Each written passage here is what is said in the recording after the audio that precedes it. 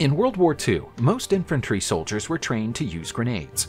Throwing grenades further and further away was an important stimulus to undertake improvements.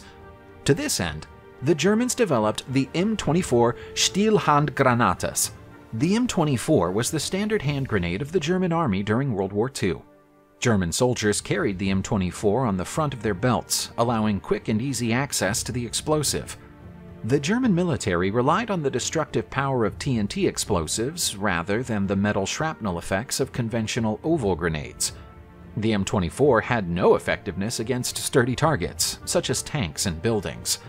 A common solution was an improvised package charge, where the heads of several grenades were tied around a whole grenade creating an immensely powerful explosive.